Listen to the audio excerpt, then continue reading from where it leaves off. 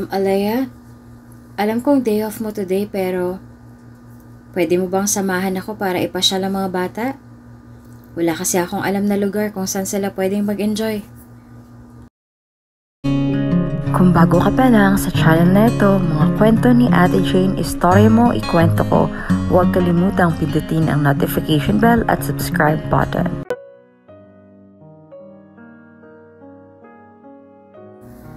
Ikapitong kabanata. Mabilis na umalis ang lalaki nang makita si Alea maging ang bata. Laking taka ni Alea dahil para bang ilag ito sa kanya kumpara sa sinabi sa kanya ni Miss A.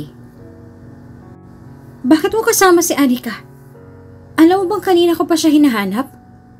Nag-aalala na ako sa kanya. Tila ba inis na inis na wika ng babae kay Leia?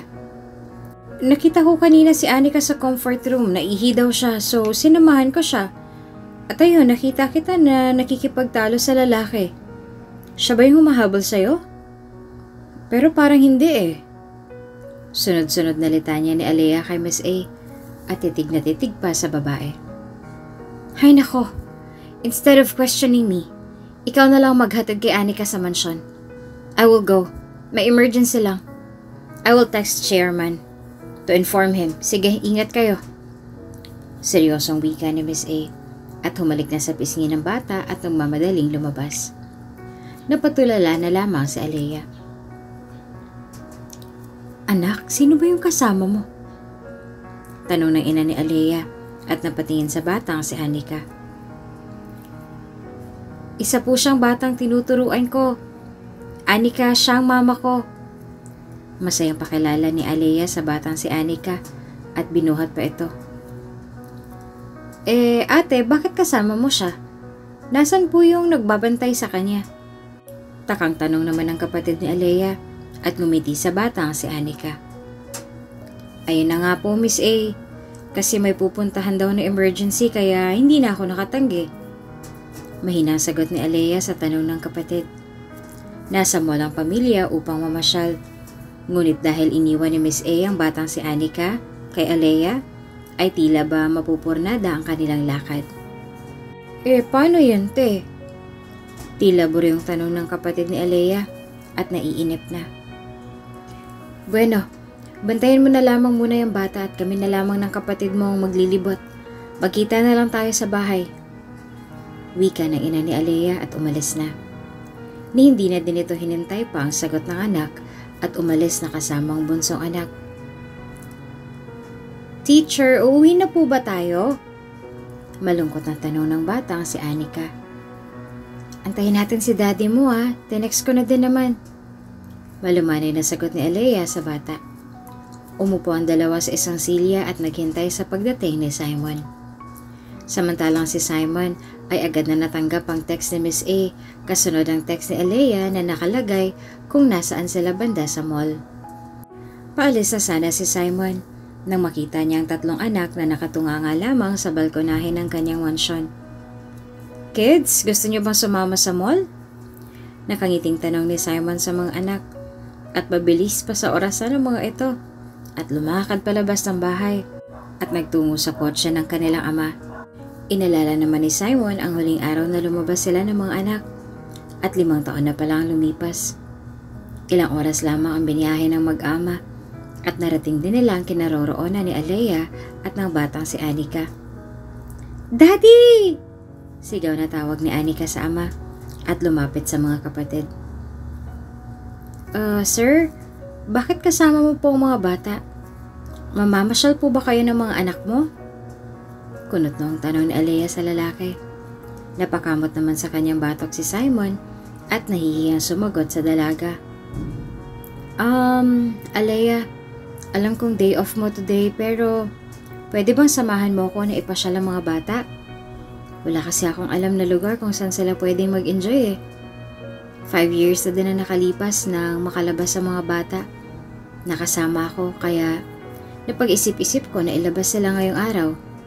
Ayos lang ba sa'yo? Diretsong tura ni Simon na halos tumulo na ang pawis sa kabang nararamdaman. Hindi din maiwasan ni Alea na matuwa dahil sa kanyang isipan ay mapapasaya niya ang mga bata at makakasama niya ang amo nang hindi nahahadlangan ni Miss A. Pero si Miss A po pwede mong isama, bakit ako pa po? Takang tanong ni Alea kay Simon. Ngunit sa totoo lamang ay nais talaga ni Alea na makasama ang lahat ng mga anak nito. Ngunit sa puso niya ay may pag-aalinlangan pa. Ah, may emergency daw si Miss A eh. Ayaw mo ba? Sabihin mo lang. Ayos lang naman kung hindi ka pwede. Wika ni Simon na halatang nalulungkot sa naging tanong ni Alea. Bahagya naman na napangiti si Alea at nagturan. Ah, nagtanong lang po ako sir, pero hindi ko naman po sinabi na hindi ako sasama. Tsaka free na free po ako, kaya tara na. Nakangiting wika ni Alea sa mga ito at hinawakan pa ang kamay ni Anika dahil ito ang pinakabata sa lahat na dapat tuunan ng pansin. Dahil bukod sa pagiging bunso, ay doble ang kulit ni Anika kumpara sa mga kapatid. Daddy, saan po tayo pupunta? Inip na tanong ni Charles sa kanyang ama. Walang ideya si Simon kung kaya tumingin ito kay Alea na ngayon ay abala sa pag-type sa kanyang cellphone. Alea? Taas kilay na tawag ni Simon sa dalaga. Alam ko na kung saan tayo pupunta. Nakangiting wika ni Alea at ipinakita kay Simon ang larawan ng kanyang nakita sa Google. Fantasy World? Takang tanong ni Simon kay Alea at tiningnan ang location ng lugar. Oo sir, Lemery, Batangas lang naman ang location. Malapit lang. Tiyak na mag enjoy ang mga bata doon. Wika ni Alea at matamis ang umiti sa lalaki. Hindi na nga nag-alinangan pa si Simon at bumalik na mga ito sa sasakyan at bumiyahe patungo sa Batangas. Ilang oras din ang binahe nila Alea patungo sa Batangas at matapos ang apat na oras na biyahe ay narating na nila ang fantasy world ng Pilipinas. Nasabi ka mga bata na makita ang ganda ng lugar. Kahit na luma na ang gusali, ngunit para bang nasa Disneyland sila sa oras na yon. It looks like Disneyland in Hong Kong. Masayang wika ni Charles at sabay-sabay silang pumasok sa lugar. Napakaraming tao ang naroon sa lugar na yon. Natila ba na sa isang Disney World ka? Can you take a picture of us? Wika ni Simon sa isang turista at pumayag naman ito. Nagpakuha ng larawan ng mag-aama at kasama si Alea. Labis ang tuwang nararamdaman ng mga bata kahit malayo ang biyahe, sulit naman ang kanilang pagod dahil sa ganda ng lugar. Naglibot sila Alea sa Fantasy World at kumuha pa ng ilang larawan sa bawat pasilyo ng gusali. Nang matapos ang paglilibot ng mga ito, ay tila ba nagutom sila Alea, kung kaya't kumain sila sa isang kainan malapit lamang sa pasyalan. Naging masaya ang araw na yon kina Alea, lalo na sa mga bata. At nang mapansin nila Simon na sumama ang panahon, ay nagpasya na silang umuwi. Sa biyahe ay agad na nakatulog ang mga bata dahil sa pagod. Samantalang si Alea at Simon ay nanatiling tahimik. Alea, may nobyo ka na ba? Pambabasag ni Simon sa katahimikan. Ah, uh, wala po since birth. Nahihiyang sagot ni Alea at bahagya pang umiti. Sa totoo lamang, ay noon pa man ay nais na ni Alea na maranasan kung paano magmahal ng tao at mahalin. Simula kasi nang maging mulat siya sa mundo, ay wala nang ginawa ang dalaga kundi kumayod para sa kanyang ina at kapatid na kapwa may sakit. Bakit naman wala? Siguro pihikan ka sa lalaki. Natawa naman si Alea sa winika ni Simon sa kanya. Nako, ako po pihikan. Malabo po yan. Siguro po hindi pa talaga oras para magmahal ako. Hindi naman kasi hinahanap yan. Kusay ang darating sa tamang oras at pagkakataon. Sagot ni Alea sa lalaki at natahimik naman si Simon. Ganun ba yon? Nakangising wika ni Simon at diretso pa din nakatingin sa daanan habang nagmamaneho. Oo naman po. Diyos lang ang nakakaalam kung sino ba talagang nakalaan para sa atin. Ikaw ba, Sir Simon? Hindi mo pa ba naisipan na mag-asawang muli o maghanap ng babaeng makakatuwang mo sa buhay at sa pagbabantay sa mga bata? Hmm, I think nahanap ko na siya. Pero siguro tulad ng sinabi mo, may oras na inalaan ng Diyos para makasama natin ang taong nakalaan para sa atin. Biglang natahimik si Alea sa naging sagot sa kanya ni Simon. Iniisip ni Alea na kung nakita at nahanap na ba ni Simon ang babaeng kanyang mamahalin, ay malamang si Miss A na iyon.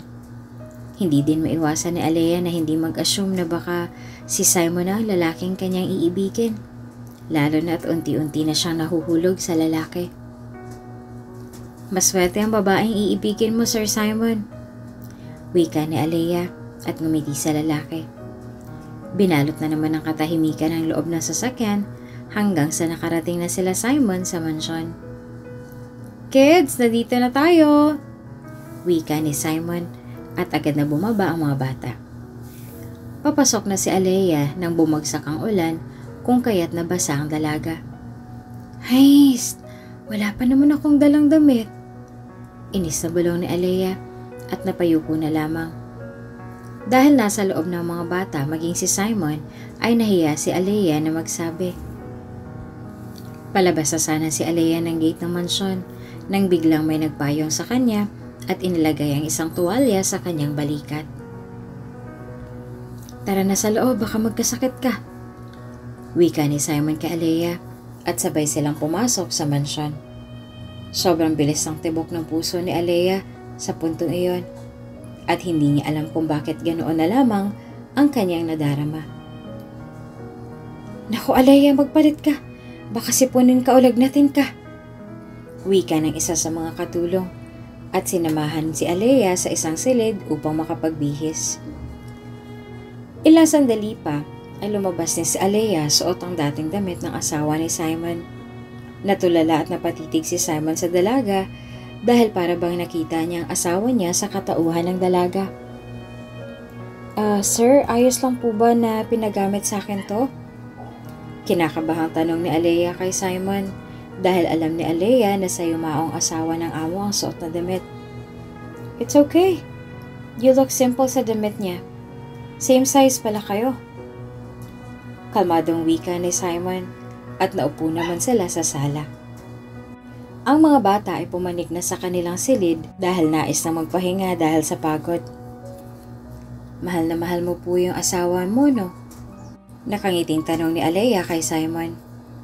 Ngumiti naman si Simon at penteng nakipag-usap kay Alea. Sa totoo lang parang hindi ko nga akalain na wala na siya sa tabi namin. She did everything for us just to make us happy. I don't want to waste those memories with her, pero nangako ko sa kanya na lilimutin ang mga bagay na yan. Kahit mahirap. Kaya inumpisahan ko sa pagtago ng mga gamit niya kasi masakit pa din ang kanyang pagkawala. Malungkot na pagkukwento ni Simon kay Alea habang inaalala ang nakaraan na kailangan ng limutin. Masaya po ang asawa ninyo kung nasan man siya ngayon dahil alam niyang tinupad mo ang pangako mo sa kanya kahit na mahirap para sa'yo. Mahinang wika ni Alea kay Simon. Dama ng dalaga ang sakit at lungkot na nadarama ni Simon dahil sa pagkawala ng mahal nito. Alam ni Alea ang pakiramdam na ganun dahil hanggang sa ngayon ay umaasa si Alea na makita pa balang araw ang batang kanyang dinala sa kanyang sinapupunan. Ikaw, Alaya, nabanggit mo na hindi mo nakita ang ama mo? Wala ka bang balak na hanapin siya? Seryosong tanong ni Simon sa dalaga. Natahimik naman si Alea dahil sa totoo lang ay labis ang pagnanais niya na makilala ang amang nang iwan sa kanila. Sabik si Alea na makayakap at makausap ang amang nawalay sa kanila. Ngunit tila ba nawalan siya ng pag-asa nang sabihin ng kanyang ina na meron na itong ibang pamilya. Mm, gusto ko sana siyang makita at mayakap. Kaso sabi ni mama, meron na siyang pamilyang bago. Kaya, bakit ko pa siya guguluhin? Malungkot na wika ni Alea at naisip na napakasaklap ng tadhana para sa kanya. Why don't you try? Malay mo, hinahanap ka rin pala niya. Don't lose hope, Alea. Wikang payo ni Simon kay Alea at tinapik pa ang balikat ng dalaga. Natahimik naman si Alea hanggang sa sumagi sa kanyang isip na itanong ang pangalan ng asawa ni Simon. Sir, ano palang pangalan ng asawa mo? Seryosong tanong ni Alea sa lalaki at natigilan sila pareho dahil sa bumabalot na seryosong usapan. At dito nagtatapos ang ating kabanata. Ano kaya magiging reaksyon ni Alea kapag malaman niya ang pangalan ng asawa ni Simon? Malalaman niya na kaya ang kaugnayan niya sa triplets? Kailan kaya magpapahayag ng kanyang tunay na nararamdaman si Simon? Abangan sa susunod na kabanata. Kung bago ka pa lang sa channel na ito, mga kwento ni Ate Jane, istorya mo, ikwento ko, huwag kalimutang pindutin ang notification bell at subscribe button.